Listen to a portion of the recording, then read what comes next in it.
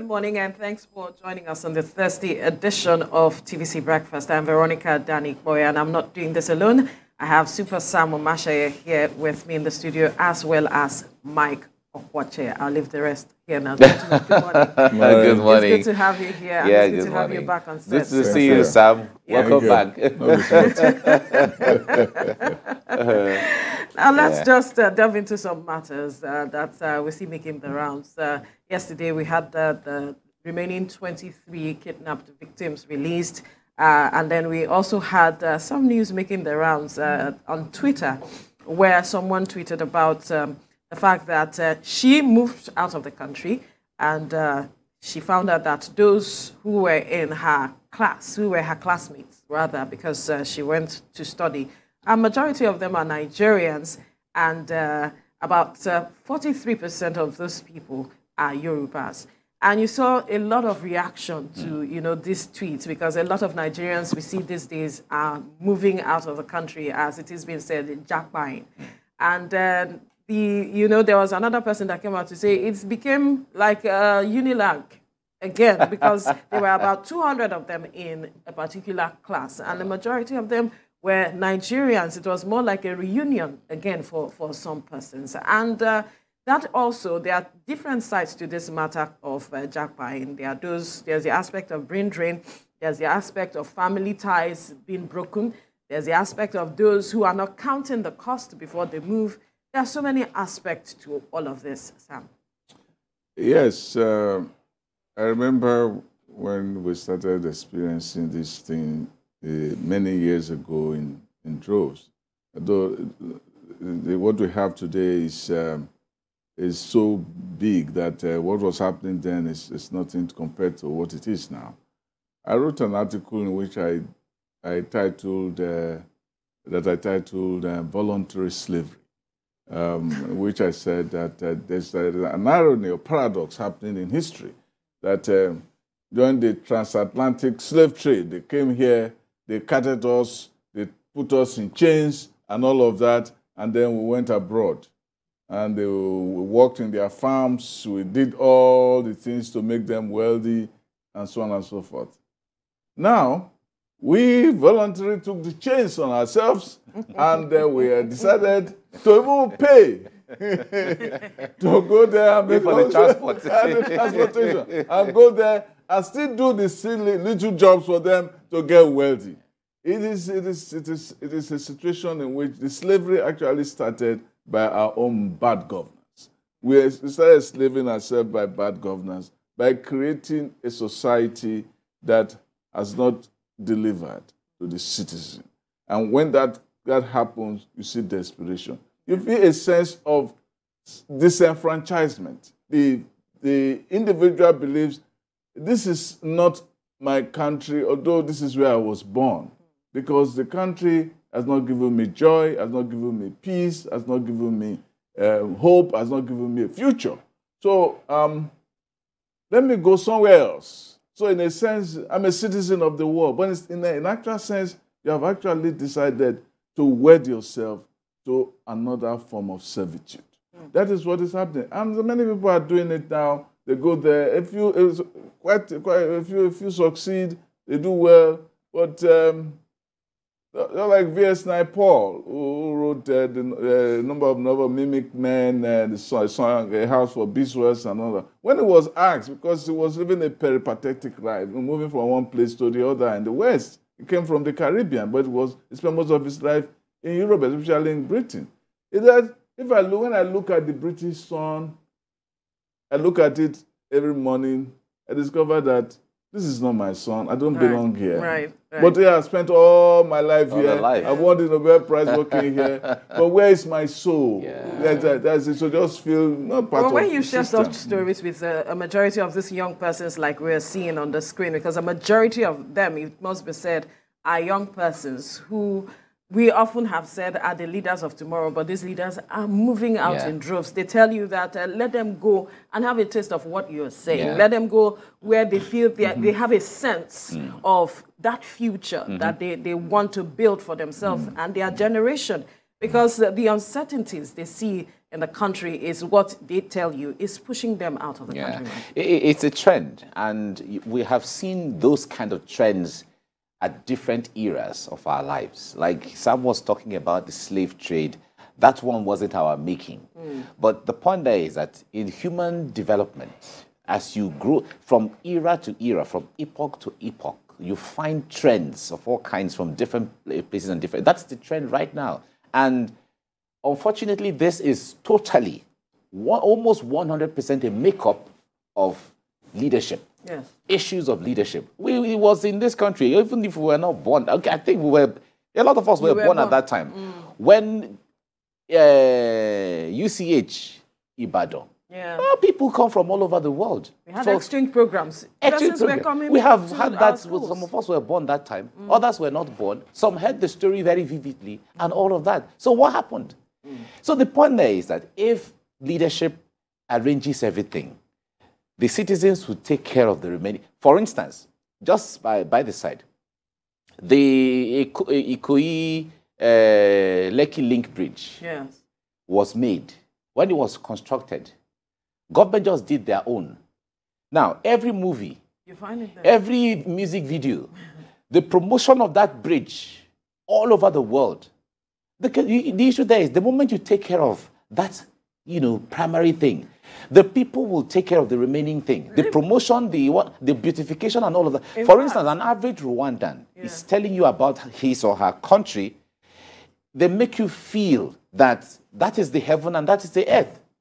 So when we are trying to, no, it's not us, but Don't even say it. The moment you take care of certain things, the people themselves will handle the rest. And that, that's why it has been said that what Nigerians are really asking for. It's, It's not, not that much. It's not much at all. It's not much. Just much. give them stable light. Yeah. Water. Security. Security. Leave the rest to them. They will, handle, they it. will handle it. We are all like somebody said. We are all government in our own selves. Where an average person grows up, you provide everything for yourself. Nobody Absolutely. relies on government for anything. That's it. Yeah, know, yeah, so- it's interesting though is that um, is that we, we find that Nigerians will, will start creating communities abroad because the, Yeah. the bigger the Nigerian community abroad, the, the the the the more autonomous the Nigerian community will be abroad, and the more autonomous it becomes, the more attractive it is for others to come and join them. Yeah. And so on Yes, abroad, yes. you have Nigerian communities in.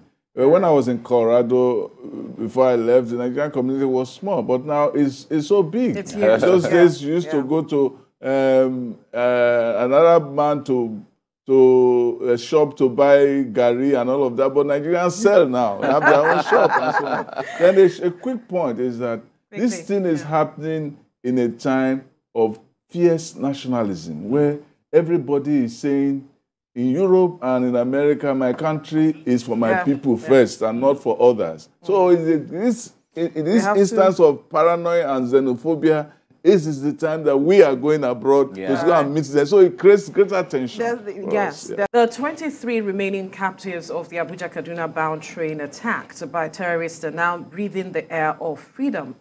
The latest on that incident that happened on March the 28th of this year is that all captives have now regained freedom after spending over six months in captivity. The news of their release was from the Secretary of the Chief of Defense Staff Action Committee, Usman Yusuf, who disclosed that the hostages were released by their captors at about 4 p.m. on Wednesday. Mr. Yusuf said that the committee took custody of the victims shortly after their release. Now, let's briefly run you through some of the occurrences that shaped that fateful day, the 28th of March 2022, which will remain fresh in the minds of Nigerians for a long time. At around 7:45 p.m. on that fateful day, hundreds of passengers traveling to Kaduna were kidnapped, others killed, and some injured by bandits who bombed the Abuja-Kaduna bound train. Approximately 970 passengers were on board, with several of them abducted and taken into the bush by the marauding bandits who arrived on motorbikes holding firearms and other deadly weapons. The train left Abuja's Idu station at about 6 p.m. and was scheduled to arrive in Kaduna's Rigasa train station by 8 p.m. According to eyewitness accounts, the train was bombed twice before the armed bandits opened fire on the travelers. Other 26 passengers were officially declared missing, As of April the 4th, and 150 passengers were still un unaccounted for, for at that time. Now, at least eight people were killed, including Amin Mahmoud, a youth leader of the ruling All Progressives Congress, Chinelo Megafu Chinelo, a medical doctor, Tibile Mosugu, a lawyer, barrister Musa Lawal Uzigi, Secretary General, Trade Union Congress, with more than 65 others kidnapped. The following week, the hostage takers released a businessman and 11 more captives were released in June. In a statement released on the 28th of March this year, the Nigerian Medical Association confirmed that Ms. Chinelo tweeted shortly after the train from Abuja to Kaduna was attacked by terrorists saying, quote, I am in the train. I have been shot. Please pray for me, end quote. In the aftermath of the attack, the Nigerian Air Force conducted raids in the forest on the boundary of Niger and Kaduna State, killing no fewer than 34 terrorists. In the meantime, President Muhammadu Buhari says he is delighted over the safe release of the remaining 23 kidnapped train passengers held hostage by Boko Haram terrorists. The president said the nation owed the military and all other security and intelligence agencies a debt of gratitude for the successful conduct of the operation, leading to the release of the hostages. He said the relief that has come to the nation from the closure of this unfortunate saga must be sustained across the country at all times. President Buhari maintained that his government will take credit for resolving the issue and the de-escalation of terrorism, banditry, and kidnapping that ravaged some parts of the country recently. To politics now, where the All Progressives Congress National Working Committee met earlier on Wednesday with the Progressives Governors Forum to finalize plans on kicking off its campaigns. The governors say they are proud of the national convention that produced the party's presidential candidate Bola Tinubu. They maintained that the party is working towards harmonizing the campaign list before the final composition is released. Habida Lawal has details. There have been speculations of a disagreement between the campaign council and the party. These issues of contentions are around the constitution of the campaign team. We are very happy. The Director General of the campaign, Simon Lalong, had announced a shift in the start-off of the campaign, but this meeting has laid to rest the speculations of a rift, as any issues that arose from the constitution of the campaign list is being resolved. We are happy that we are discussing, even though there were leaks that were unfortunate, which the campaign council and the party have announced are a mistake and they are not authorized but I'm, I'm confident, I'm happy to say that the party are solidly behind our candidates and our party. And whatever leaks that have come out erroneously, we believe will soon be sorted out. We are very, very comfortable. We have established machinery for resolving any any conflict you know that may hang. We, we're very sure that we're together on this, on the same page with the governance forum, same page with the campaign office now and the National Working Committee.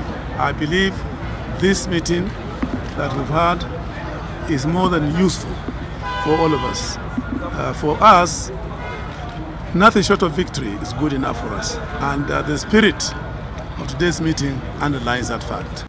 The meeting, which lasted for four hours, had in attendance the governors of Plateau, Niger, Ondo, Zamfara, Kano, Nasarawa, Kebbi, Jigawa and the Deputy Governor of Borno State. This meeting is aimed at addressing issues surrounding the startup of the presidential campaign of the All Progressives Congress. Habib Alawal, TVC News, Abuja. It was a carnival-like atmosphere in Owerri when women of the All Progressives Congress in the Southeast region converged to rally support for its presidential candidate, Asiwaju Ahmed Tinubu. The state governor, Hope Uzodimma, told the women that the party is committed to ensuring its presidential candidate wins the 2023 presidential election. TVC's Prince Oba has details. These women from the five states in the Southeast geopolitical zone are here in Owerri to show their solidarity with Asiwaju Bola Tinubu and his running mate Kashim Shettima. the governor of Imo State, Hope Uzodimma, welcomed the women to the government house. He says this kind of support from the women is indicative of the goodwill the APC and Asiwaju Bola Tinubu enjoy in the southeast. Uzodimma declared that the southeast region is a stronghold of the APC and he believes the party will emerge victorious in next year's presidential election. I'm very happy for our presidential candidate, the Jagaban of our time. And we are all committed to APC. And we are all working for APC. And we believe that what is happening in Lagos should happen in Nigeria. We believe that those who initiated what is happening in Lagos should also initiate what will happen in Nigeria. Those who have been tested are supposed to be trusted. We've tested them, we should trust them. The wife of Imo State Governor Chioma Uzodimma, who is a frontline women mobilizer, believes that Asiwaju Bola Tinubu is a formidable candidate who will give the women their pride of place in government. The way forward is to go with Bola Ahmed Tinubu, the Jagaban of Bogu Kingdom, and the Asiwaju of Nigeria.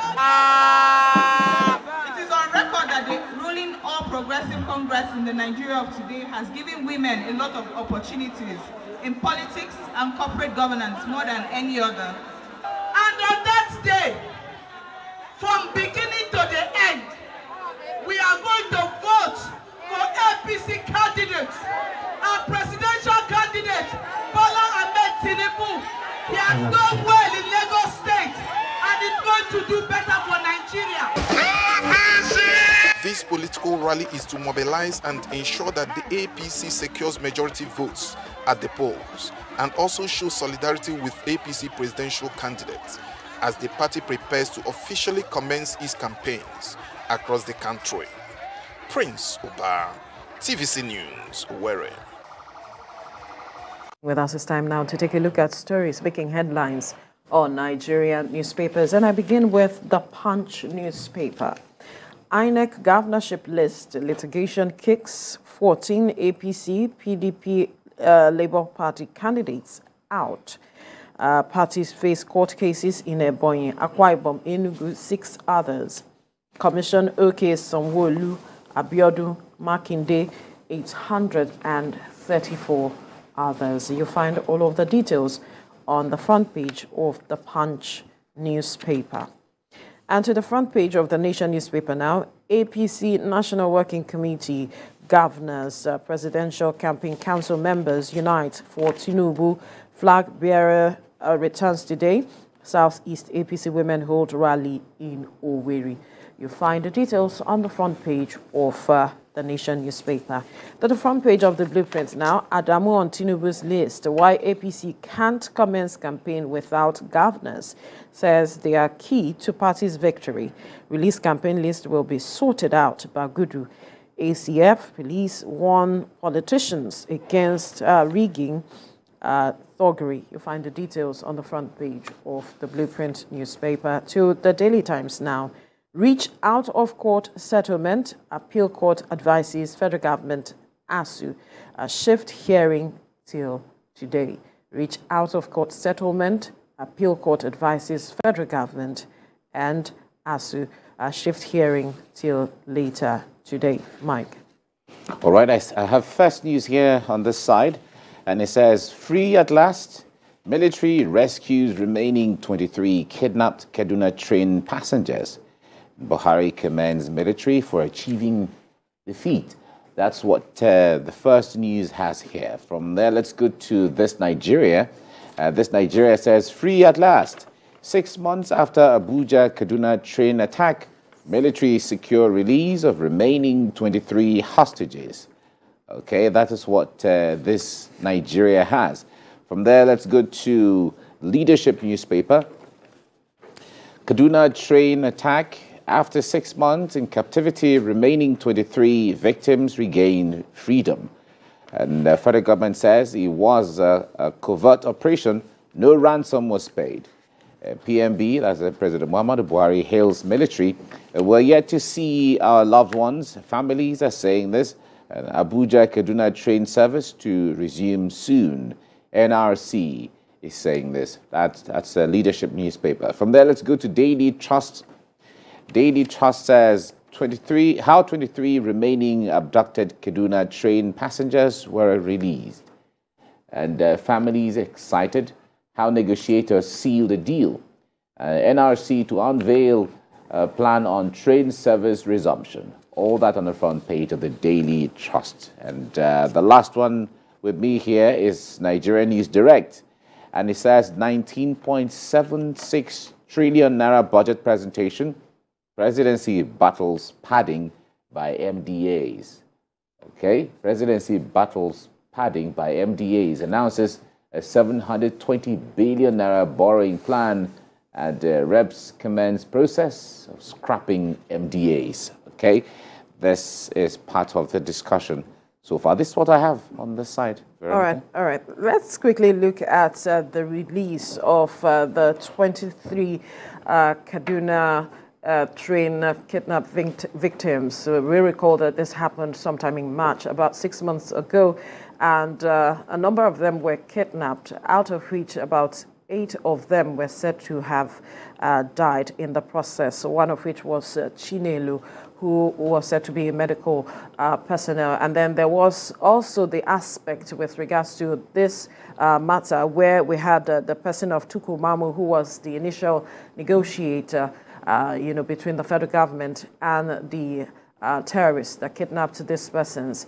But in the process, he decided to pull out of the negotiation because he said that his life was being threatened and so many issues because we had him here on set. And afterwards, uh, he was arrested by the DSS and is said to still be in the custody of uh, DSS. But thus far, the remaining persons are now being released and uh, the families are excited, Nigerians are excited.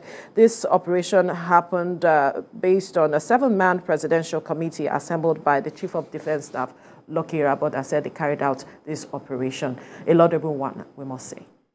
Um, one of the uh, points that came up to me immediately I heard the news was the story that uh, Tukur was uh, pushing around about uh, a young lady that was supposed to have been married um, uh, in the, in, on the on the on the on the what do I call it on the on the verge of a coerced matrimony mm -hmm. with the commander, you know.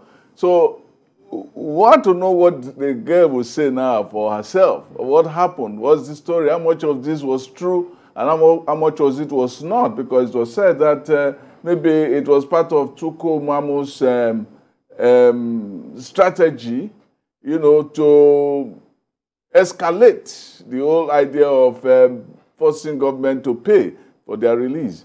The other issue is we don't know how much the, the, the government pay to get these people out. Did they not government pay? said they did not pay. They, well, well, they have, ne they have never mm. said that they have paid. They have never, never, nobody no, has government has said, never paid ransom. Why, no, you, no, why, no, you, why why government doesn't pay ransom. They have never why said you that saying they have that? paid. but, you know, as they say, as Shakespeare wrote, say, all is well that, that ends, ends, well. well. well. Mm. So from rather than the people and the family pouring costs on uh, on the government, they won't say as uh, you know, the lamentation of David when he said, You mountains of Gilboa, there shall be no dew, no, neither there shall, there shall be rain upon you or, the, or, or upon your fields of offerings. Mm. And because the shadow of the mighty have been vilely cast away. And now they will turn that over, over and say, Okay, let there be rain and let there be dew. Let there be rain upon you and, you, and your shield shall not be cast away. You know, the, so things have now turned the other way for for, for the, the government. government. But this, this is also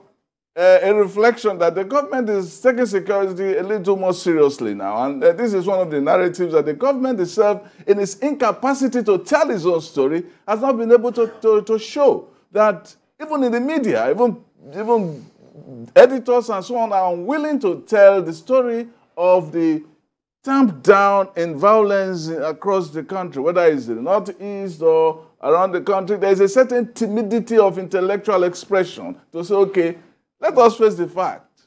Things are not as bad as they used to be. Whether tomorrow it will change, we don't know. But in the past month or so, especially since the time of the um, Kuje prison, there's been, and the attack on the, on the National Guard, there's, there's been um, some kind of um, wake up. It was a wake up call, some kind of a born again spirit in terms of violence attitude, uh, attitude towards violence by this uh, government. Well, some persons will say that perhaps we shouldn't have waited till the point of seeing such attacks happen before we begin to have this born again uh, attitude towards addressing matters of uh, security. Yeah, we should have waited. The lives have been lost. Yes. Since things have happened, uh, people have gone away, and so on. Uh, Thoreau said, You can't kill time without injuring eternity. You have already killed time, you have injured eternity, but we still have time on our hands. As, uh, as, uh, as uh, Don Williams says, you have time on your hands.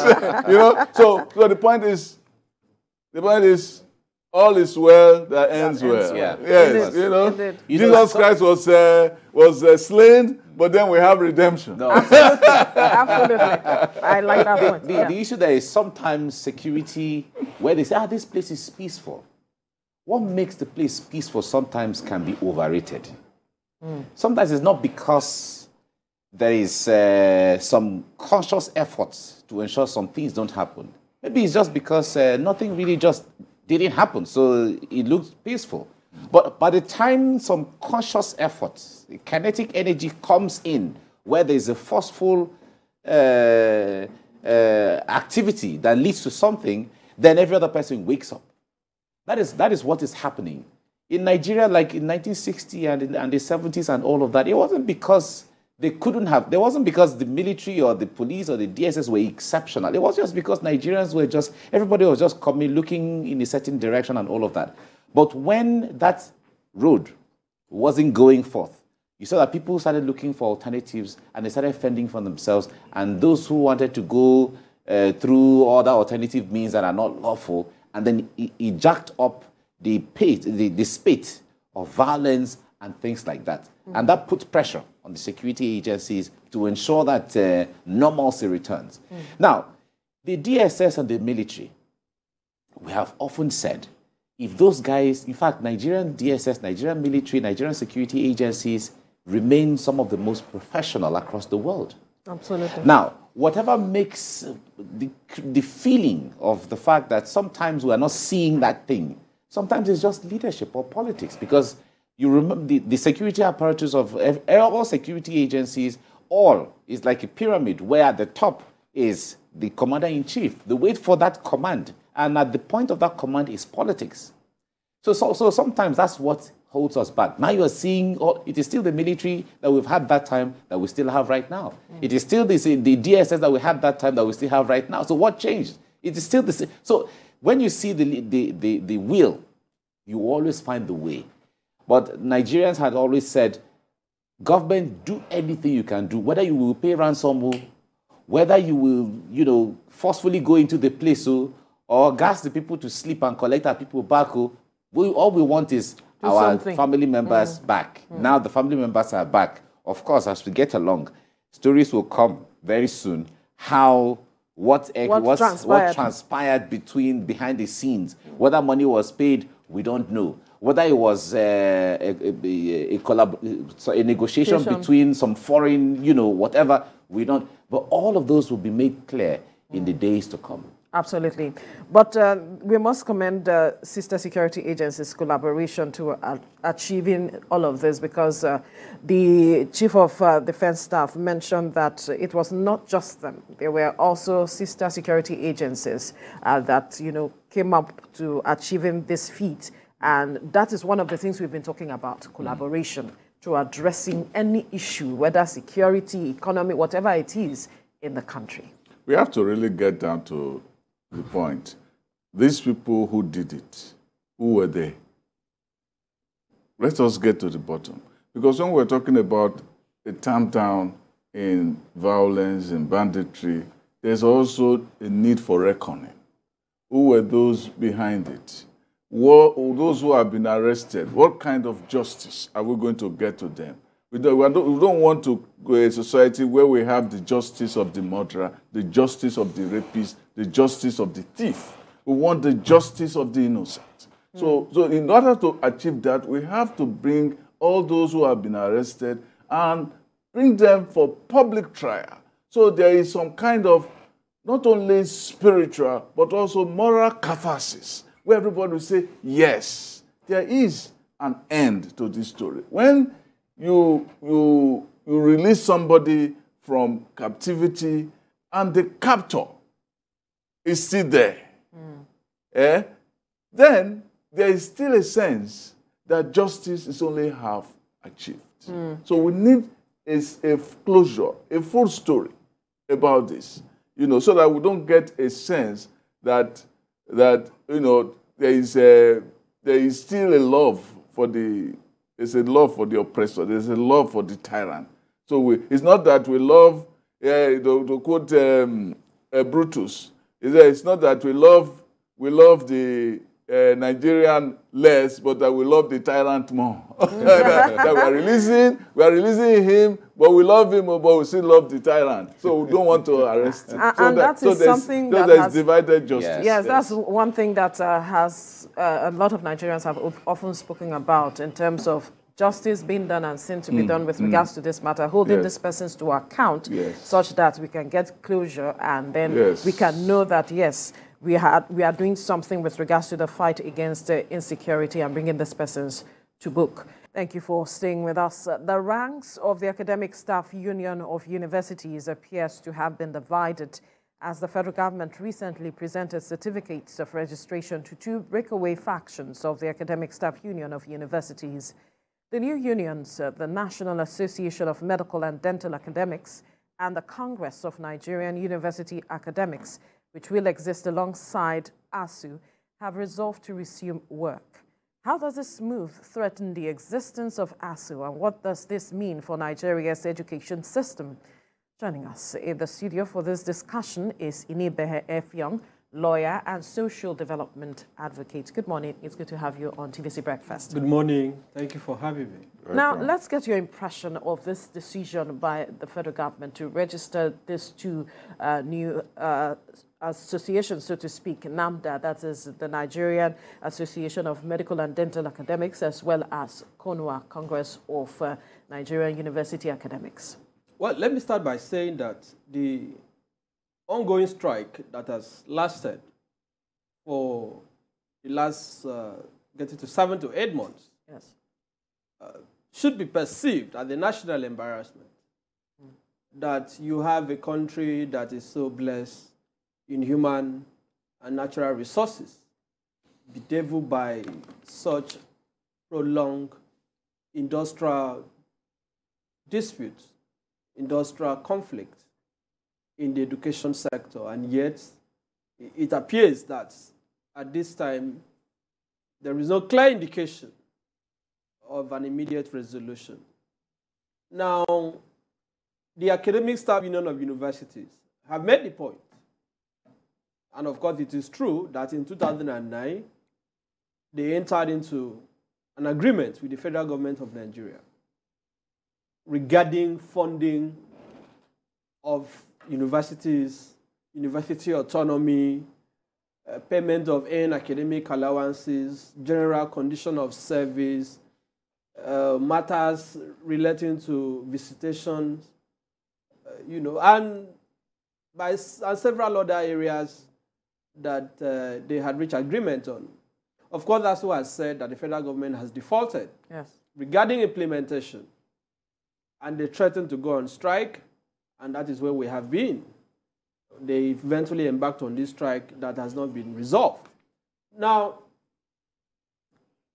is the federal government saying that the solution to the trade disputes in quote, I said in quote, between ASUU and the federal government can be resolved by polarizing or burgonizing ASUU. What is the purpose? What is the intention behind the sudden registration of these splinter groups? Mm. I, for example, am particularly interested in knowing who the members of these new unions are. Mm. I, I have monitored conversations on social media since these reports came to light. I haven't seen one lecturer in any tertiary institution, not in Mama Meta or any university known to me, who has publicly expressed to be membership of these new unions. So who are the members of these new unions? And in any event, does that show good faith? Mm. The federal government has gone to court. The court had made an order. ASUU is aggrieved and has gone to the Court of Appeal. Are you not supposed to take steps to ensure that the real dispute is resolved? First. Before, yes, because what is the intention? Mm. And I personally feel, and this is my opinion, that the Minister of, uh, of Labor, uh, Mr. Grace Ngige, yeah. doesn't seem to have the temperament to resolve this issue. If you listen to the conversation, the comment he has made, some you know, pejorative remarks he has directed at ASUU and their members, you know, I think at some point even describing some of them as roadside academics and so on. He has become extremely combative. I, I watched the video where he stormed out of the House of Representatives. Yes. I don't think that is the temperament of somebody who wants to resolve so this, a dispute with intellectuals. I do not think. So this is more of a power play. Absolutely. I, I think Ngige is just trying to prove a needless point. Because my position is that suffice it to say that you have considered that there are aspects of the agreement that has not been made. One would expect that the government would act in a responsible manner and then invite every person, institutions capable of mediating and resolving this issue. The House of Reps had intervened and we had hoped that this was going to be resolved. Because what the minister has done amounts to an escalation. It can only prolong the strike. I don't think registering these bodies is going to significantly have any bearing. Uh, we are waiting to see. see. Okay, they have now announced the registration. Has the strike been called off? Have lecturers resumed work? Who are the members of the union? Who is the president of this union in, in Unipen? Or the chairman in Unipen? In Unilorin? University of Lagos? University of Uyo? Who are the leaders of this new union that they have registered? ASUU has a structure that is well grounded in many years of agitation that is not a structure that you can just throw but, but, under but, the bus. But people have said that uh, this is ASUU. Every government of the day, ASUU must have a problem with them. Uh, uh, issue, issue, issue, they had the 2009 agreement, and the federal government says that of the seven uh, issues, they have, uh, they have been able to, to, to solve five. They said, earn academic allowances, they paid them 40 billion in uh, January to February 2021. The EAA and AA and EA, um, that's uh, 22.27 billion was paid for them to them in uh, 2021 and mainstreamed into the 2021 budget as promised. 30 billion was paid in June 2021 for revitalization, as in as uh, as as I said. There's a UTAS and IPs crisis still going on. They said that they, they wanted to see how they could bring them together. Um, they, they, they, they, are, they, are, they have said that they, they have made a lot of payments to them and that they, what these people are asking for now is that, look, we want the backlog of our salaries for strikes that they created on their own. Now, I can see the mischief that is going on with this um, issue of whether they are coming up with uh, CONOA and one of that, and so, and so on and so forth. But the question is, why don't they go back to school when they know that this government is on its last leg?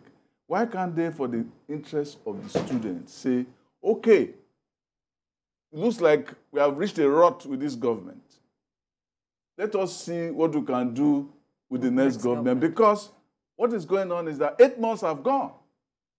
The students, the, the, the, lecturers, many of them are not losing anything. Many of them have all kinds of places they are teaching.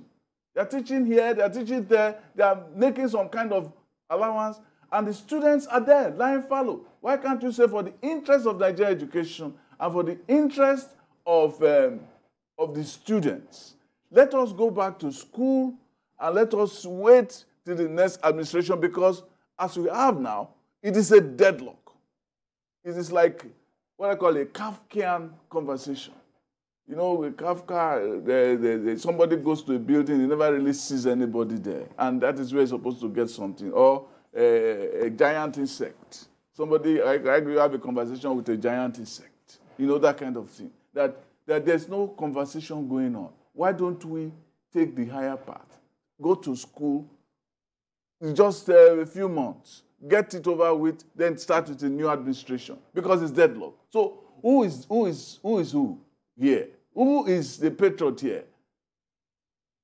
Mr. Master, your, your, your, your sentiments are understandable, but the issues that predicated the strike in the first place Mm. is not administration specific. It is not tied to the Buhari administration. As a matter of fact, it predates it.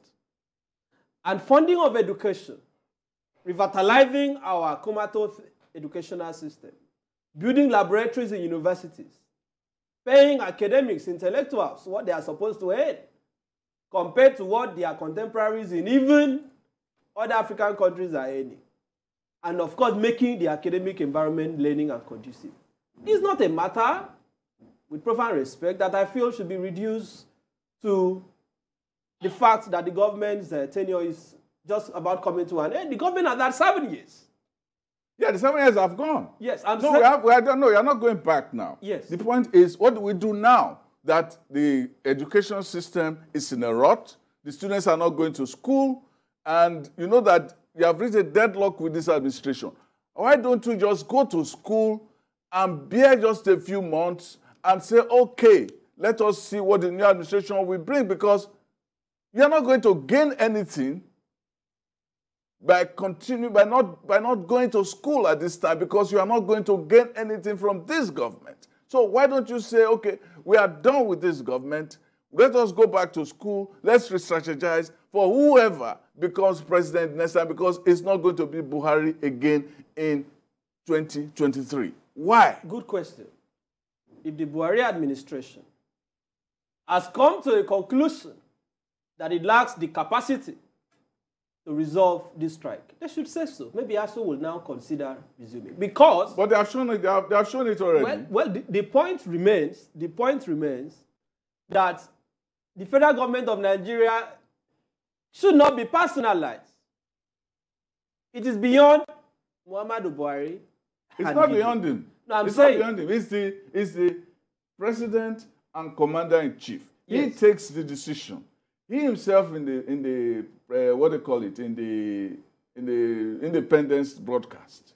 He himself said that the people should go back to school. In other words, we have done what we can do. He says so. we have we have given them what we want to what we can give them. Yeah. But what the people are saying is the the ASU is saying is that is that is that they should bring us the money. Give us the money that you are owing us. Give us, we want the, we want the money. And, and then they say, then they say uh, there's so much corruption in government. You people can't tighten, tighten, tighten the nooses, and you are saying that uh, uh, you don't have the money. You have the money. They are saying the government is saying, how do we pay you if we pay you this amount that you want for the president or the uh, what do you call it for the professors and so on, you have doctors, you have other people also want money. So, so what the, what what you want is for the universities to be freed so that they can make their own money and get minimal uh, uh, uh, you know contribution from uh, elsewhere. But even the universities, they have to ask themselves, they have been accused of lack of creativity, lack of imagination to even take the bull by the horn. I, I, I don't think it is that simple. Uh, I personally would not support commercialization of our educational system. It's not commercialization. That's why the Well- best universities in the world don't rely on government. Uh, don't rely the best universities. If you can look at the top ten, top twenty, top fifty universities, most of them don't rely on government money. They go out there and and they use the resources, uh, the, the resources that they, that they can muster to enthrone themselves. I'm not saying that government should not add, but government should government should give them the money. And, and I, I understand too that there is some there are some strictures, institutional strictures that that uh, that will not allow them really really uh, go out on their own. I understand that, but those are issues that can be resolved not with this administration because this administration, uh, to tell you the truth, is not ready to to um, you know, I don't have the time given what their time to even do all of that. So why don't you wait till the next administration and say when that comes, then let us table everything on the table and see whether a fresh start can go on. I don't know how this fresh starts will be because they have had fresh starts from one administration to the other. There must be something wrong about the strategy of ASU. What other There must be something. That's what I'm What- telling what you. other option? That's what I'm telling you. They have not. They have not. What other option does have they, have? have they been able to really use the muscle of the National Assembly to get certain laws done? Have they been able to use that? They're just beginning to do that. What they are doing with the House of Rep, House of Rep, we House of Rep now has come. I, I- we don't know the details of what they recommended and so on and so forth. But they need to galvanize the institutions of democracy to force the arm of government to do things that, they, that, that can be done. for me, for me, that will. Yes, it is an interesting advocacy which I endorse, but the, by implication, that can also be perceived as a vote of no confidence of the government of Nigeria because you have people in the National Assembly who were elected to represent Nigeria. Yeah. If these are matters that has to do with legislation, in the House of Reps in the Senate, they have committees on education. Yeah.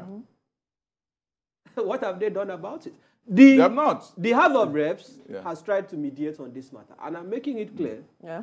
that even while that discussion is going on, you have the Minister of Labour acting in a manner that is counterproductive, in a manner that is contrary to what the House of Reps is trying to achieve. So for me, I still believe that the blame squarely lies on the foot of the federal government, the executive arm of government. Where is the president? Where is the vice president? Where is the secretary to the government of the federation? Why is Ngigi still part of this negotiation? Because from all indications, he has shown Ngige clear was removed faith. from the negotiation some point. at the point, I'm and then, saying- the, and then the Minister of Education, Education was put in. there, I'm and then saying- and then the Minister of Education said, "Okay, we have given these people some offers. We gave them offer." Uh, they didn't present salary. anything. They, they, they did not come with a counter offer am- because I'm- they said I'm that there's saying- no need for counter offer. I'm We saying, had the Nasuma here saying that what is that? That's not, that was not an offer. That was uh, he didn't use one uh, one expression. It was an offer. It was just uh, uh, A drop of water in the was ocean. something. There was one expression he used. And uh, almost like a decree, it was decreed to them that this is what you can do. No, but you, you have to come with counter offer. If they say they're giving you this, yeah, you have to come down from your high horse and say, okay, let us negotiate down to this. But they said they have, have nothing to. if you read and they denied that this there was, there was a there was an offer. no, if you read if you read the resolutions Yes. after the meeting with the House of Reps, Yes. it was clearly stated that some form of understanding and agreement had been reached, and that it was left for this to be put before the president for ratification, to be ratified. But while this process was ongoing, somebody went to court. Somebody decided to create new unions. And even the president, who is supposed to resolve this, has even penciled the Minister of Education for national honor. We are not a serious country. You cannot have our, uni- our universities closed for seven months. and the Minister of Education is being given a national honor. So that alone is a way of telling us that you must continue with the strike. Is that not the reason- This, is this that is also, Mr. Obamaseye, this is also about the character of Nigeria as a country. Who we want to portray to the world. Yeah. I passed through public institutions all through my life, from primary to secondary to university. So I have interest in public education. When I was in the university, there was a course, a GST that we were taught called Introduction to Computer. And one day I stood up, I told the lecturer, I said, sir, every day we come here, you are teaching us about computer. You have never shown us what a computer looks like. That is the fate. That is the, the, the situation I of agree. public education of I, our I, universities I in agree. this country. I, I agree with So you. at but, what point- I haven't, I haven't known that. I haven't known that. I haven't known that this is the way it is. Why don't you just get the children to school? to learn what?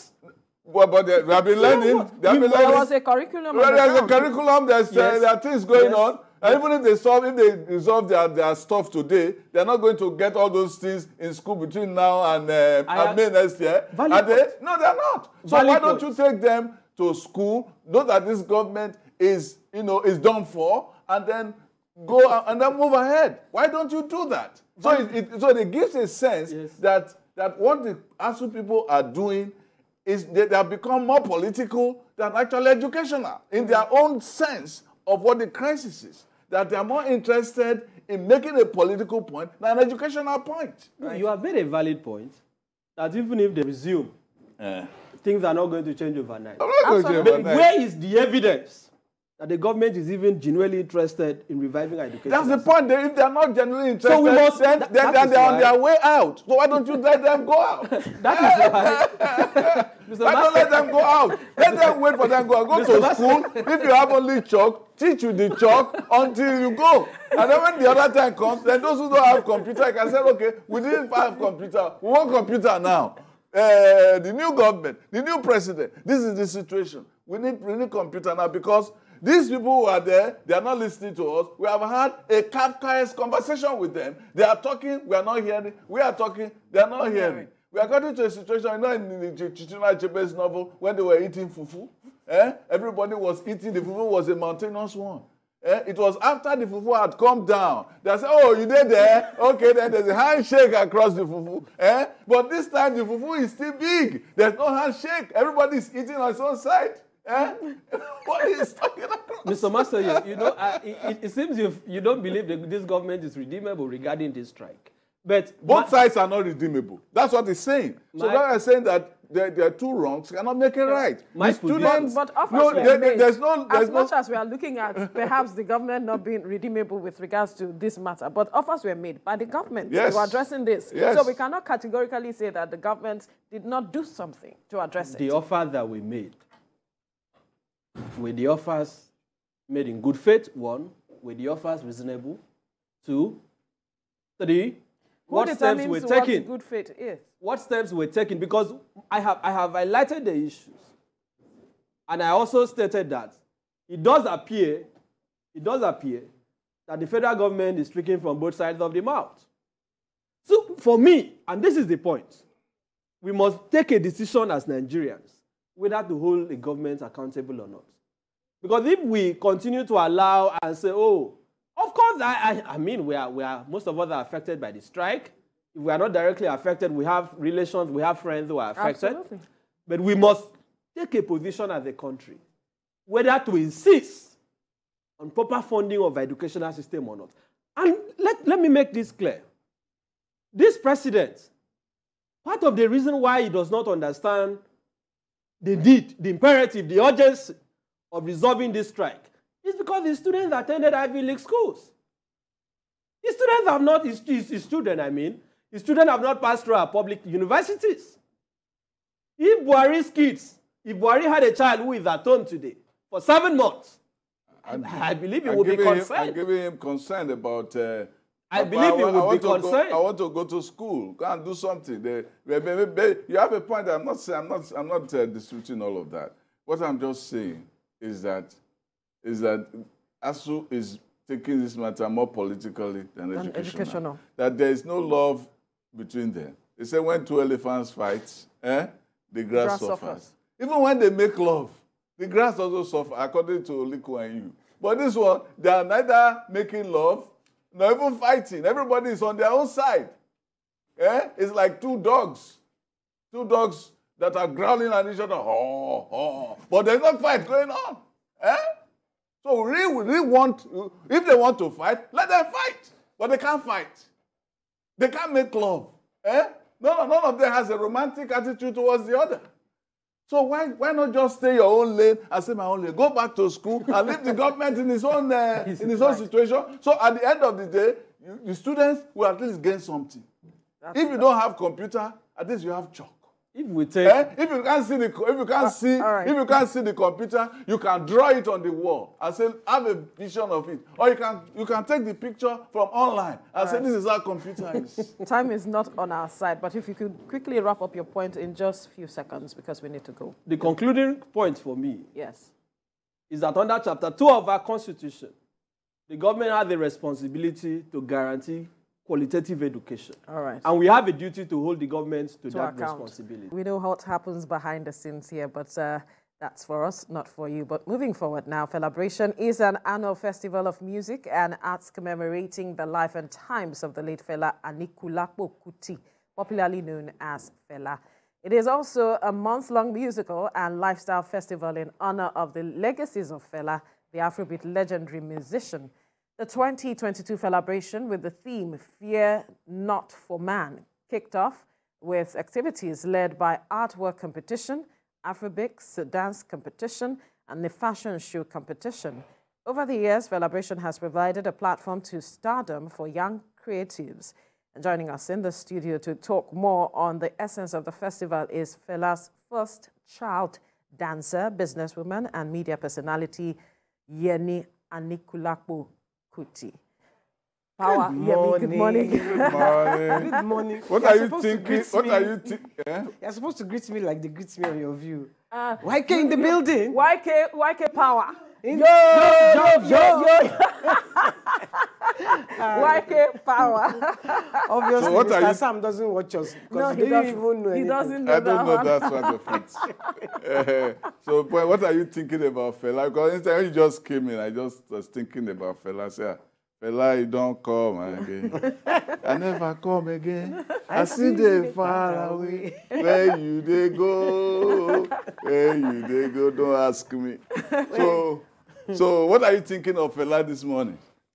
What am I thinking? Yes. Well, you know, this this month, this October month, Fela was born in October, and I decided to celebrate his birth and not his death. Because in Nigeria, we like to celebrate death. For me, death was a sad part of him, of our meeting. Yes. So I prefer to celebrate his birth and what he stood for. So what I'm thinking about is, yeah, the stress of celebration. Oh. So, not Fela per se, but the stress that I, oh gosh, Yeah, it has not been easy, you know, it hasn't been easy. handling all of this over the years. Yeah, um, you know, we were calculating it yesterday. We have done this festival for 20 years. Wow. Yeah, celebrating. We took a break um, for two or three years because Fela has been dead 25 years. So let's see, four years. We took a break, but intermittently. Uh, but um, first started in 98. We took a break in 99. In 2000, we opened the shrine to commemorate Fela. Then another celebration in 2001. Took a break th- three and four. Started again in 2005, and it hasn't ended. You know, we have just continued till date, and I thank. Your creator. Yeah. So how has it been, you know, the kind of support that you have been getting with regards to this? Young people, we know that you had the fashion show recently, the kind of uh, support you I wish you had come. numbers. Mike came. Mike was there, and, and it was nice, you know, because they were they were. I didn't know that uh, Mike was a great uh, Fela fan. I didn't know.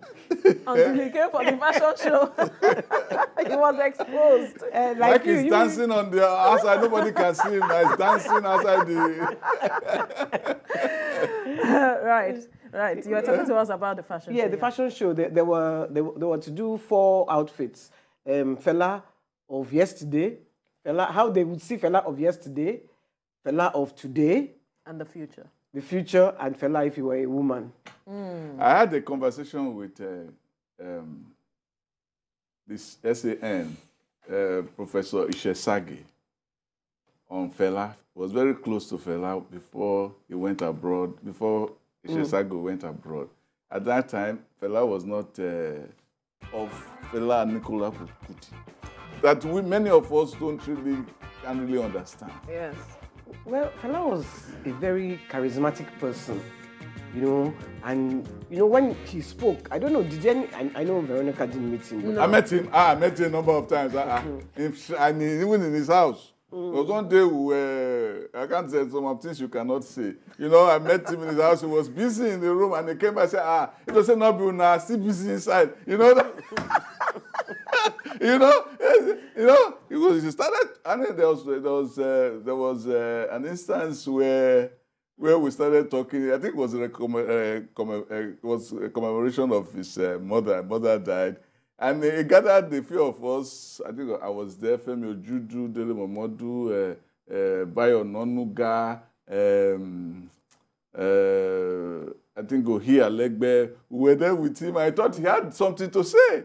He said, "No, this is not the time for gbegbe o. My, my mother, my political mother, and today with the with the with the, with the, with the marker, there was nothing. He didn't want anything to. He had much to say, but you could see that he had this strong connection with his mother that uh, you know Mm. that was uh, was so powerful. And then when anytime you had conversation conversation with him, he turned it into some kind of drama. Even when there was nothing, he made it into something. Mm. Yes. Well, like I was saying, Fela was a very charismatic person. You know, he he you, would be drawn to him hmm. when he's talking. You would be drawn to him. You would listen to him, and he always had um, intelligent things to say and things that resonated with you as a hmm. human being, hmm. as a black person. Be, being Fela's daughter, well, it's not just because I was Fela's daughter, but because he made me proud to be African. He made me proud to be black. He made me, you know, so like when I go abroad, for instance, I will always portray Africa. I will wear my African clothes, you know. I it's because I want to show and um, be show you that who I am. I'm proud of who I am. I'm, you know. So and that was being his daughter, be- being so close to him, you know, being one of the people that he, he he intimate, touched. intimate with, yes. Now, that's what I want to know. You know, people always know the public persona of Fela, the, you know, the braggadocio, the, the tough talking, defiant man. How was he to you as a father? You know, where's well, that tender part? Fela never showed any tender part. Everything was uh, was uh, was was a roar. Everything was uh, was uh, was an attack. And and how was he? How was he at the moment? When, he- when, he- when, he- when you sat to eat, when he was giving you advice, what kind of advice would Fe- Fela give you? Let me just say this. I've said it before and I'll say it again. I don't think Fela should have been a biological father. I think, yeah, Fela was more of a. Everybody was Fela's child. So you, because you were his child, you didn't get any Special- special Special treatment. There was nothing like that. So Fela was father to everybody.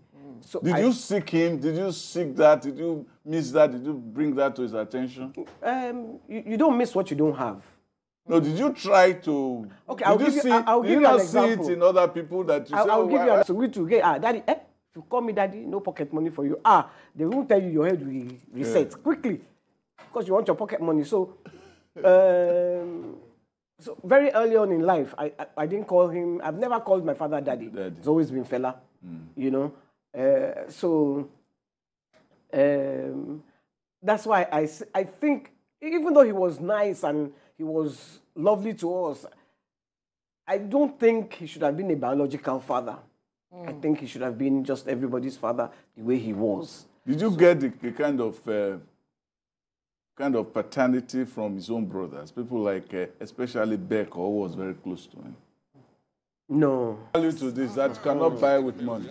There was uh, there was a conversation. Uh, if you watch the film of um, the Williams sisters, there was a conversation like that between uh, the father and some of these uh, hawks who wanted to um, to cut a deal uh, with uh, Venus, and they, they threw some money down, and uh, he rejected it. It, it looked like big money. They said, "No, no, no, we're not going to accept this. You can't sell my daughter short." And then there was one scene with some white men who were eating with him, and he actually farted before he left, just for emphasis. to say nonsense. And, you know, you know that is that is the kind of when you know that this is your worth, and there is a meaning to art other than just money. There is a meaning that you cannot really count or, or count in terms of cash. Absolutely. That, uh, that that Fela knew is knew that life was about value, and that's Mm. one of one of the things many people need to learn from Fela's life. Uh, How are you able to cascade that value to the next generation? Because we see Made Kuti also towing this path.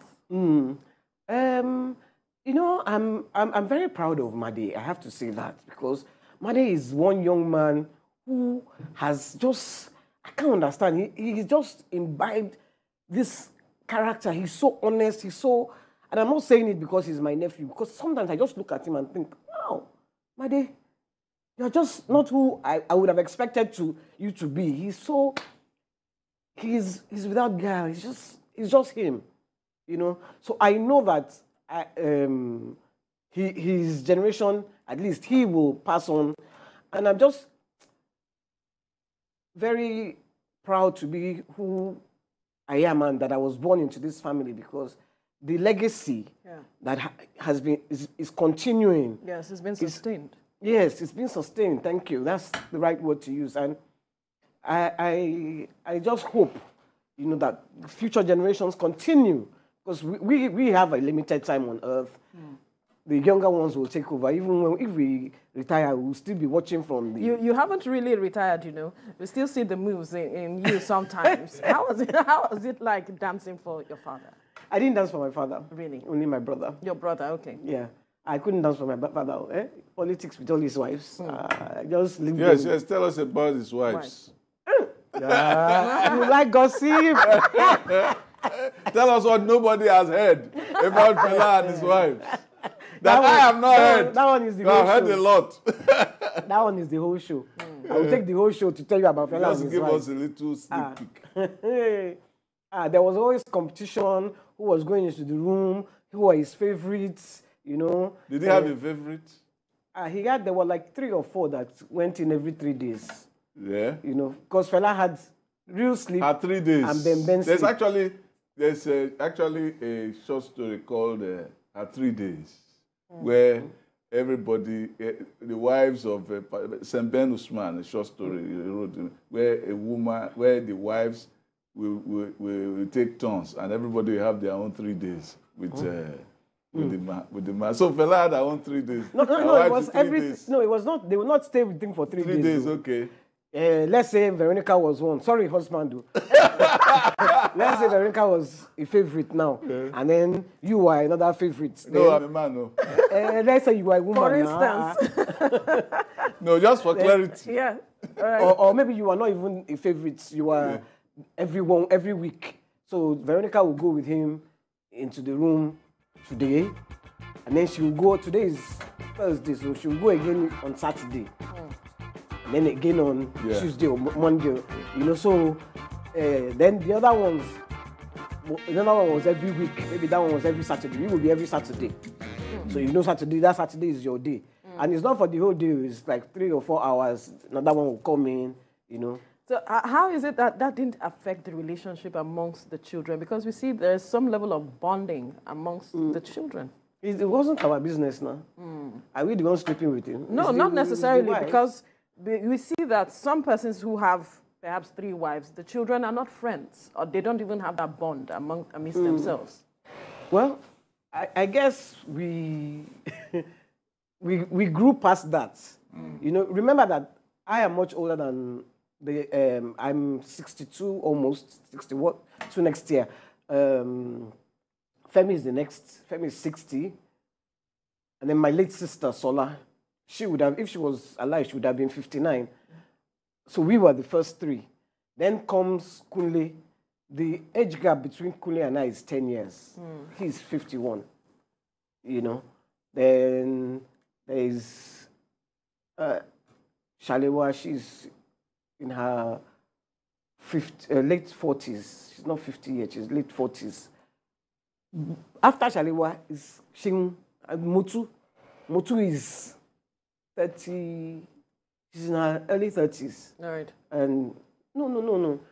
No, Shinwa is going to be 40. So that Shinwa and Mutu are going to be 40 next year. So there's a wide gap. There's 21 years, 20 years, 21 years between Shinwa and I. So we are more like the mother and father figure. You know. So that where where how will you clash? You know, the, Can, can you can you did you ever uh, experience Fela in the moment of inspiration? Moment of inspiration. Yes, when Fela was inspired, he would just sit down and be staring into space like that. I have a story like that. You will come and meet him, you will talk to him, he will not hear you. Because I, I, will- I, will, I will say this story. When we were younger, my grandmother, my father's mother, took us to Abeokuta, hmm. and we stayed there for a while, and we really hated it there. So I got ill, and she had to bring me back to Lagos.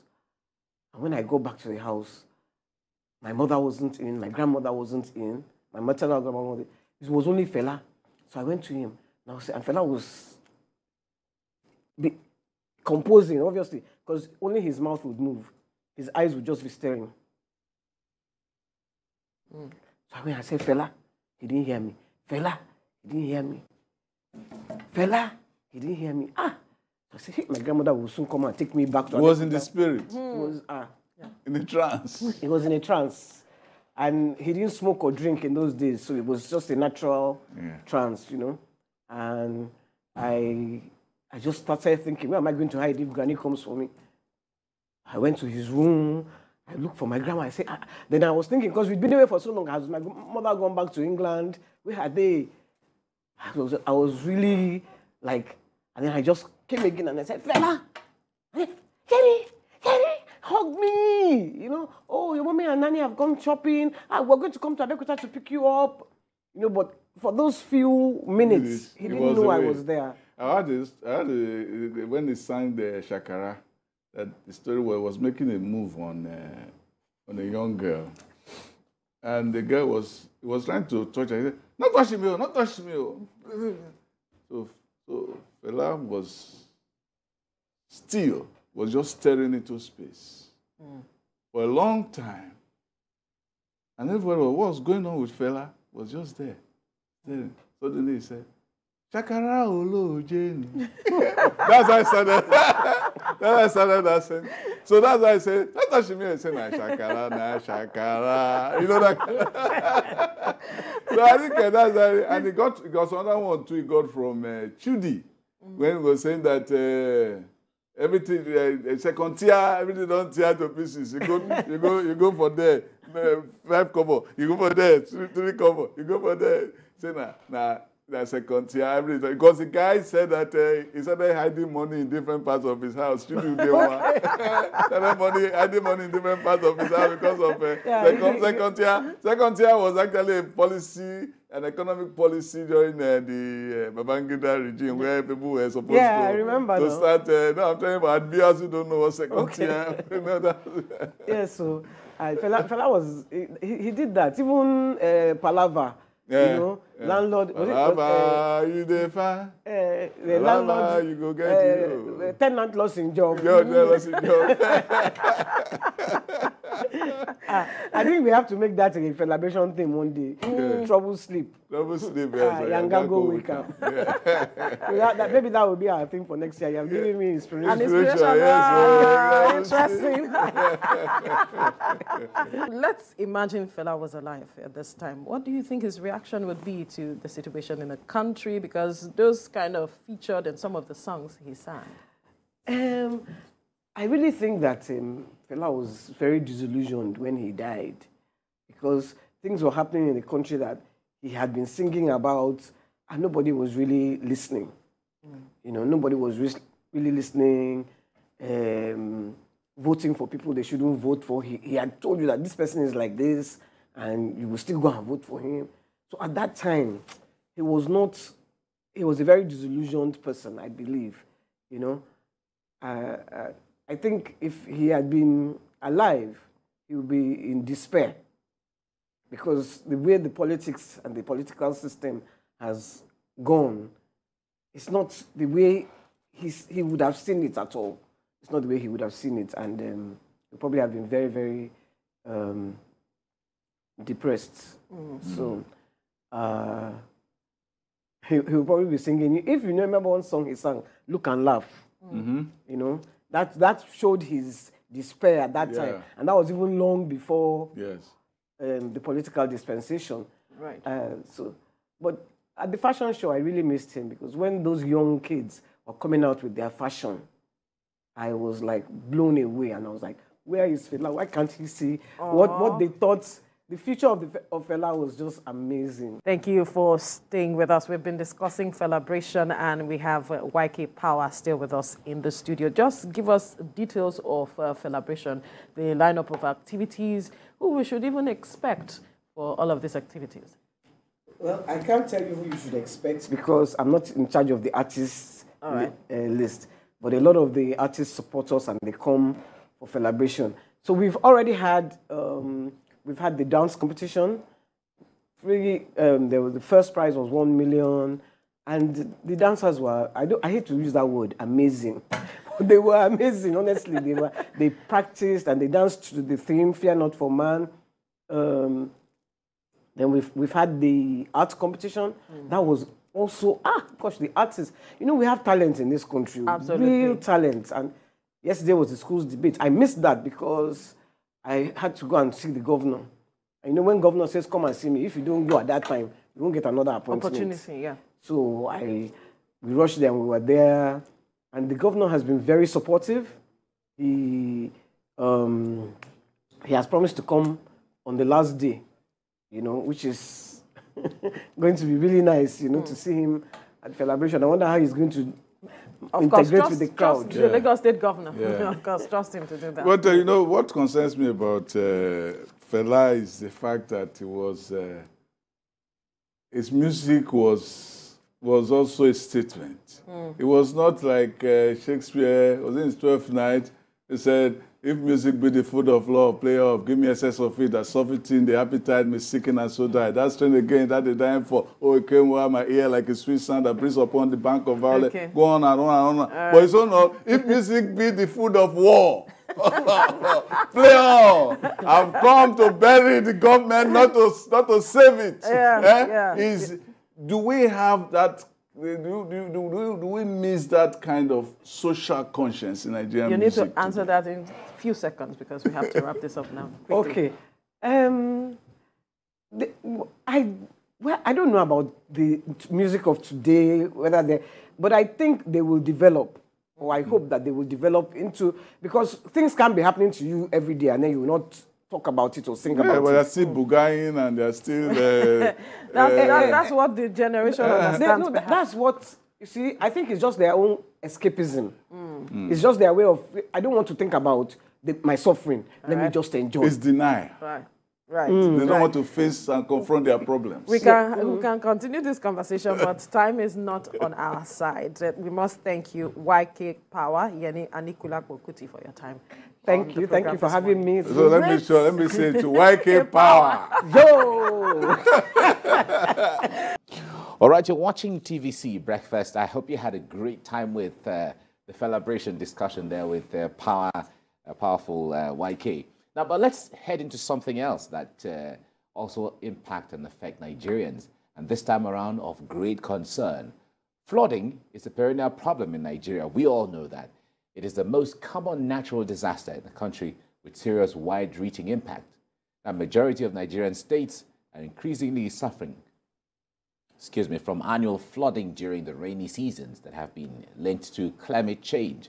But unlike some disasters, human-induced flooding can be controlled with proper planning and the provision of necessary environmental infrastructure.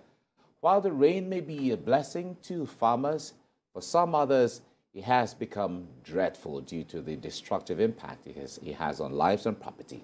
Let's talk about this in the next uh, couple of minutes. Joining us in the studio is Idu Salau, environmentalist and MD CEO at uh, Press West Africa Limited. It's nice to have you join us here. Thank you, uh. Now, the point is, we have talked about this. In fact, just recently, we were talking about the floods and all of that.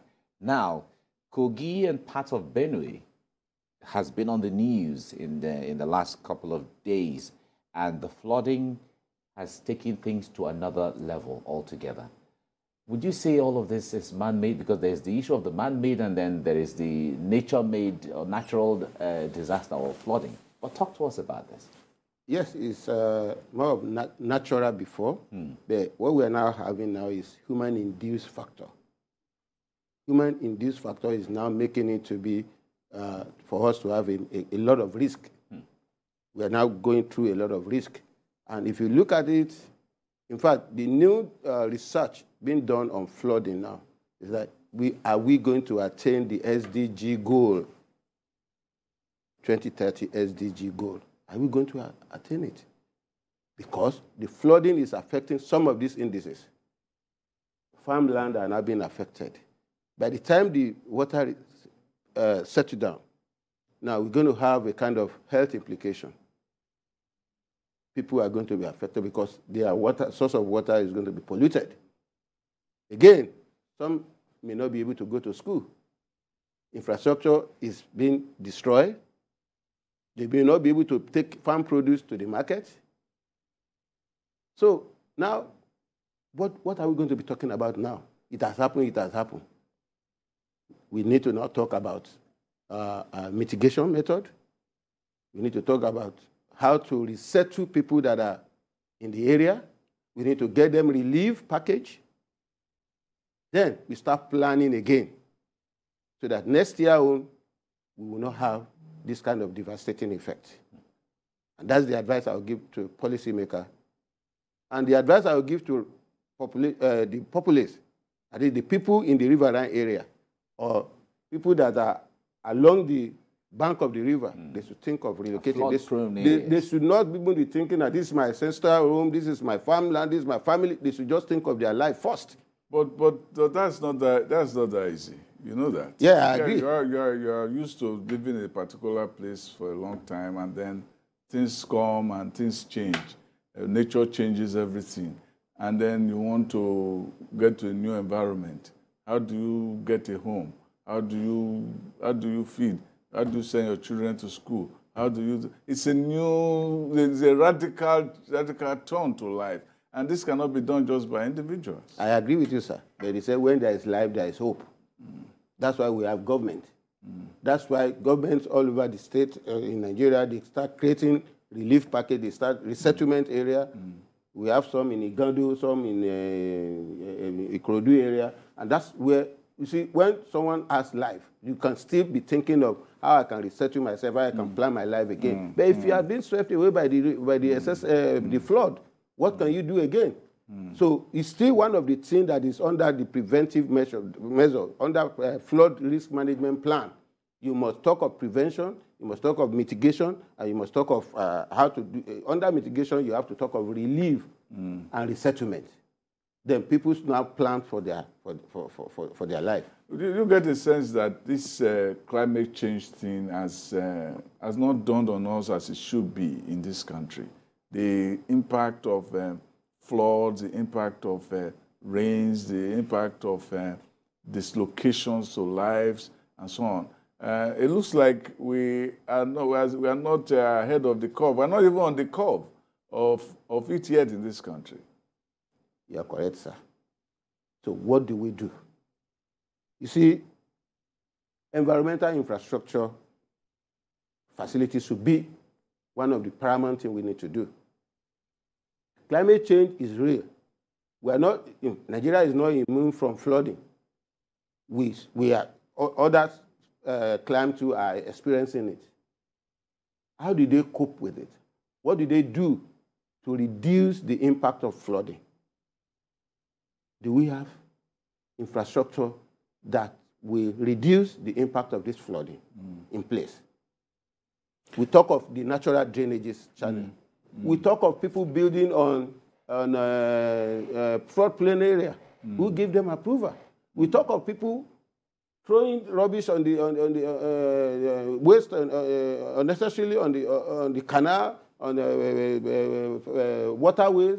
And we talk of inadequate waste management system mm. in the, by, by the policymaker and government.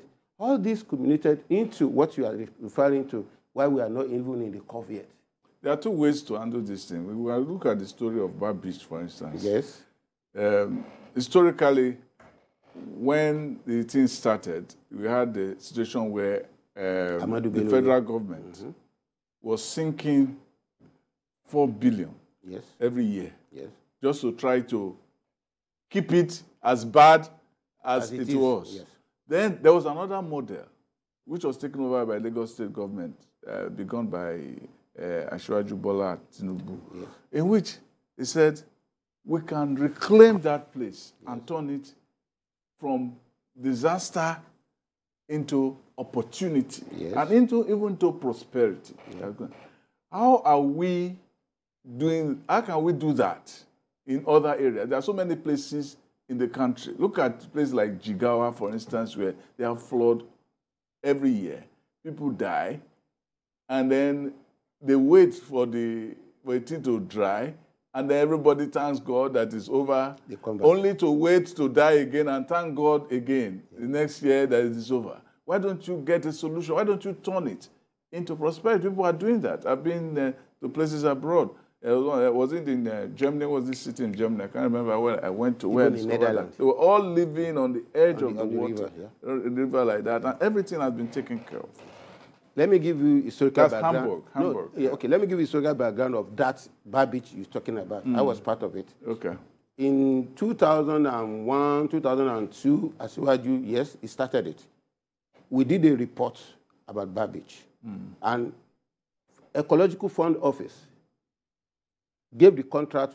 That was when Yomi Edu, uh, Chief Yomi Edu was the Minister for Special Duty, representing Lagos State in the cabinet. And Asiwaju approached him, and they started the Beach 1 reclamation. Bar Beach 2 reclamation, about 6 billion.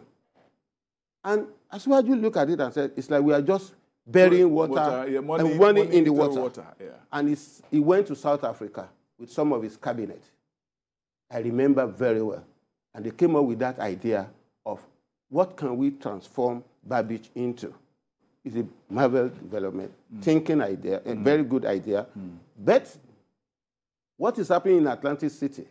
Yes. Properly planned. Yes. But do you know the side effect of Atlantic City? Some other area are now being eroded. Yes. There is no more uh, Alpha Beach. There is no more uh, Kuramu Beach. Other area too. Yes, having you have- to adapt- you have to adapt but the same if thing that too. system was not taken that time, maybe the whole, no- of, the whole no of. Victoria Island will have. There'll be no Victoria Island, Exactly. yes. So that is what we talk about renewable energy of city development. It's been done all over the world. You transform a brown area to a green area. That's what Shakespeare said. He said, nature must bow to necessity. Exactly. And that now we are, we are uh, Lagos State is gaining two things. They have saved the coastline of Bar Beach, transform it to economic gain, and we reduce the impact of maybe spending money wrongly in preventing coastal erosion, because that was what we were experiencing in Bar Beach then, coastal erosion. And that coastal erosion will bring about coastal flooding. So, and that's why you see the entire Amadu Bello Way, that time, is always flooded. But do we still see flooding on Amadu Bello Way anymore? No. So, the same thing, city regeneration. Governor Ambode did the, Ambode did the same thing in Okobaba. One particular section of Okobaba is being transformed into uh, jetty. Yes, yes. They've reclaimed that area. So if you can do that, uh, that stretch Across of, the coastline in Exa- across the waterline, uh, Uh, wa- the river country, bank, all the way to Bayelsa and... Uh, that is what, and, uh, these you know, are the opportunity that is now coming up. Rivers. Yeah, from but, but are they are they long term implication to the reclamation of lands like that? Yes. Just because you were saying that well they've done a good job with that, but then there are other beaches that uh, that are being flooded. Talk to us about that implication and how we how we can balance it. Because I- we're looking for development. Yet, if that development is going to cost us something uh, in the future, how should we approach it? One, we need to do adequate planning, and we need to let the people who know about uh, effect of uh, river flooding, coastal flooding, and urban flooding. By the time we invest on infrastructure development, environmental infrastructure development, there is opportunity that, it could, that could be created from that. That Atlantic City option is one option. Another one, if you develop the coastline very well, there will be, uh, uh, uh, there will be improvement in tourism. Instead of leaving it for coastal erosion, you develop all the coastline, people will come for tourism, they will, they will, they will be visiting the beach, you, you improve the economic uh, activities of the, of, the of the community around the beach area, and there is economic uh, uh, uh, gain for people in the area. So that's one area. Another area is that you protect the environment itself. The flora and the fauna, you protect them. Uh, all the uh, all the coastal line that uh, the some some area you have where they plant coconut, they plant uh, the, they can start harvesting the coconut through the coastline. And again, if you plant coconut along the beach beachline, you reduce coastal erosion too. So these are things you need to look into. Even though we're having disaster, we can turn that disaster into opportunity. The excess, let's leave Lagos. Let's now go to interland. The excess water that is in Jigawa that you mentioned in this, if we have water preserve, uh, reserve, reservoir Yes. and we take the excess water away and, And store, store it. that's what they do in South Africa. Use it for power. Yeah, they, use they- it not even for- that. They use it for, for power, mining. for mining. Mining. Yeah, Then but- but- use it even for irrigation, during the for during, That, that would mean that would mean more dams. no no for the dam. Don't forget of the, the position of where Nigeria is. We have two rivers Yeah. that came into Nigeria. Exactly. We are in the basin region. River basin, Yes. So the one one is coming through Cameroon, one is coming through Niger, the River Niger and the River Benue. Tajalo. So we need now they are relieving they, they are releasing water fro- excess water from the dam, La- Lago dams, and the other dam in uh, Upper Volta. They are releasing them, and they are coming. Nigeria is the recipient s- so basin. the, the, is the Nigeria uh, the basin that is receiving everything. Now it passed through Nigeria, through Nigerian city, into, Into the the Atlantic Ocean. Atlantic. So the, river, the people on the riverside area are the one that's going to feel the effect because that is where they have their livelihood, daily livelihood. Their, their, their farming system, their, their, their even living standard, everything, their houses, household. Look at the data we're having now from the, from the present flooding, this year flooding. 8,000 uh, people have been affected. 300 people died already. We have 300 deaths already. We have the one in uh, Anambra, about uh, 49,000 household, 650,000 uh, people displaced, one death. A lot of gullies caused by all And so this. I pity the governor of uh, Anambra State now. His, his environmental challenge, what he's facing in terms of environmental challenges, And even Kogi State. And Kogi, and even yeah. Kogi State, because now uh, uh, flood is here now.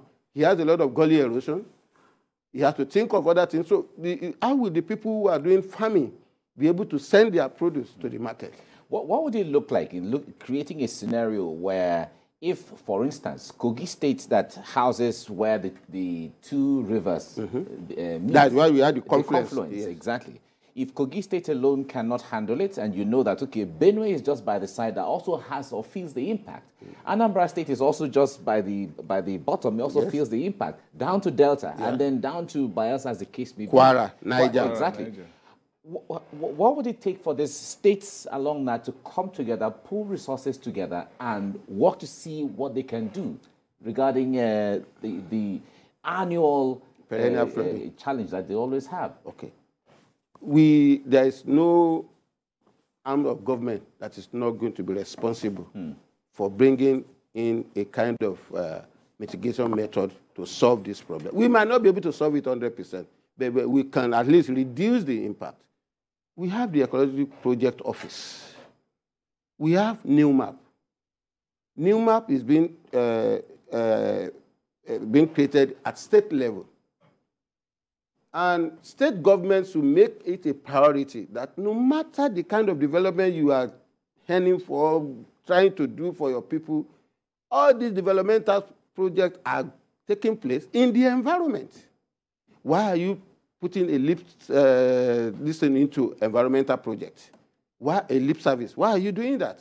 You have to be make it in your forefront and a bouncing burner. You let it know that if I don't get this, just flooding alone can swipe away whatever uh, uh, infrastructure that you put together. So that's why the synergy between state, federal, um, uh, federal government, state, and local government should be together, and they should be able to come up with a kind of holistic approach to put in place infrastructural facility, environmental infrastructural facility that will reduce the impact of flooding on the population. That is one. They should check human settlement. They should make sure that the citizens adhere to the building code and they should take drastic action where they're supposed to take it. And what do I mean by that? If you see any houses near the floodplain area, demolish it. Let the, let the government take, take the bull by the horn. Because when the disaster now happen, it's the same government they will be blaming that they, they, didn't, they, didn't, they didn't do anything. So we don't- we don't have to be waiting every year to do resettlement, to give relief. But don't forget, infrastructure, environmental infrastructure development project is expensive. So that is where they now have to look for the fund. and think- maybe a special fund to tackle it. I think that we we are downplaying the value of environment Yes. in, in, in development. You are correct. We, we, we need to get a, a more robust environmental vision for this country. Something like a maritime policy, a maritime vision that, that, that will encompass everything. It encompasses farming, food, uh, power, uh, education, and Housing. all housing, and all of that. We need to get an all- all-encompassing vision. And I think need, the government needs to come up with that in collaboration with states, because that is the wave of the future. The world, the, the environment is the main topic in the world right now. That's it. Even water.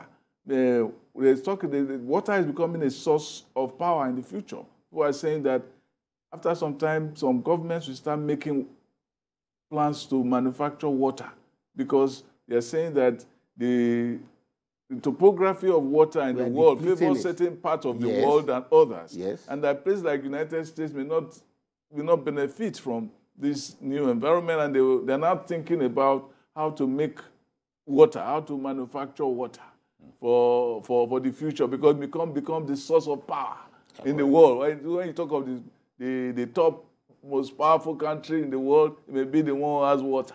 you know, that's it. Just No, as no, we're talking about, correct. just as we're talking about uh, AI, artificial intelligence. Intelligence, yeah, now, yeah. You know, all of it is also going to be used also to try to make water and make the environment, you know, worth living in. Sir, there are some country like UK. There were, I think there was changes in the government policy, and one uh, the, the one particular agency that's under that is responsible for environment. Before I take this office, there must be a 25 years environment plan that we have to follow. I have not seen any government in Nigeria, apart from Vision 2010 environment plan that was done during Abacha period. And that was the only blueprint that I've seen. And we, it's there in the Ministry of Environment, dusting there with dust and everything. Nobody mm. pay attention to that. Now, that Vision 2010 has passed. Do we do any other environmental plan? And in this same studio, the last time I appeared, I asked them, any anybody campaigning now to come up, to come and tell us the environmental plan or the green agenda that he has for Nigeria. Because without that green agenda, you will not be able to give us any development, uh, uh, uh, developmental program that will suit the trend that is going on in the, in the world now. Because everywhere now in the world, they talk of renewable energy, they talk of uh, uh, green economy, and all these are what we are looking at that will salvage and that will let us be on the same platform with the entire world. So that's the only thing advice I will give. All right. So I wonder how helpless Nigeria is at this time. You just said that, of course, environmental issues, the infrastructure is quite expensive. It's expensive. Really expensive. Yes. We're looking for monies for, you know, basic uh, infrastructure and basic things. Power, we have not solved yet. Road infrastructure, housing, we're still struggling with all of those. As much as we're making little progress here and there, and then we talk about the environment, which is huge. And we're talking about this environment it doesn't have to do with one state, one region, one. It is the entire country because the nature of environment or the challenges in the south or even in Bayelsa or River State or Akwa Ibom is different from the one you find in Sokoto or uh, uh, uh, Zamfara State. or Lagos. Is different, exactly. It's different from Lagos and it's different from Benue and all of that. So we're talking about everywhere. How helpless is Nigeria in that situation? For that statement you made, let me just give you how flooding pattern changes from one state to the other. Lagos is on the lowland area. Lagos is prone to the three flooding system. Coastal flooding, river flooding, urban flooding in Lagos alone. And if Lagos want to start spending money to improve the infra- environmental infrastructure development of the six natural gorges that it has, Odoyalaro, the system one, system two, system three, system four, all those ones.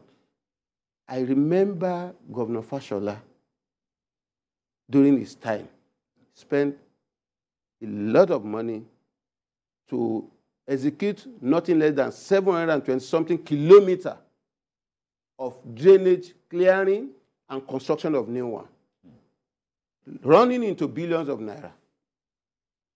But the, the next government, did they sustain it? That is one thing. And I remember again, federal government spent close to 2. Point, no, 1.2 billion naira to dredge just two kilometers of, of uh, river channel, Asa River in Ilorin. Now they are doing phase two of it now, which is about 1.6 billion under six years. And maintenance dredging supposed to continue, mm. but Ilorin Asa River is still overflowing its river bank. And that river stretches up to 15 or 18 kilometers. So it's a long it's a long, So that is the kind of investment we are looking at. All right. Uh, it's good to create a mind picture so we know the, the weight of what we're looking at. Uh, I wish we had more time to talk about this, but I know that uh, in the coming days we'll still keep talking, uh, especially finding a way forward. Thank you so much, Idowu Salao, for coming on the program. Thank you for Thank having you. me. Very much. Thank you, Thank sir. you. Right.